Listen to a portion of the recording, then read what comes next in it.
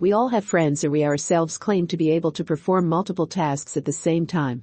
They claim that they are able to drive a car, but also to stay in their phone texting. They also claim that they can learn a new thing while they are listening to the TV.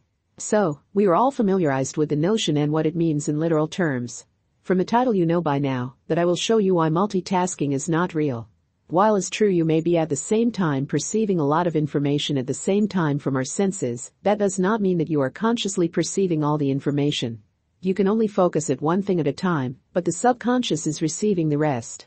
The term is multitasking, and you may even lash on me saying that you do a lot of things at the same time.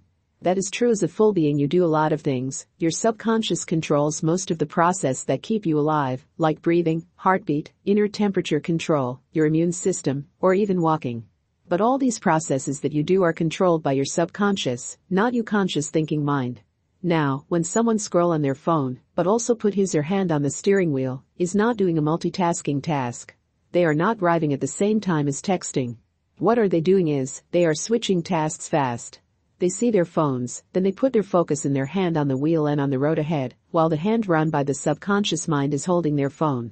In other words, you perform only one task at a time, but because you switch focus so quick, you feel like you are doing two things at a time. Even when you are talking with someone while driving, when you put the focus on what they are saying even though you are watching the road, you are not conscious on your hands holding the steering wheel, but because you switch tasks fast, when you have to turn the wheel.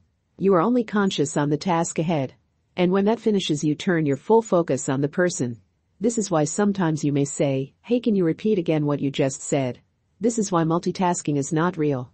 We can give this process a better fitting name. That name would be quick task switching.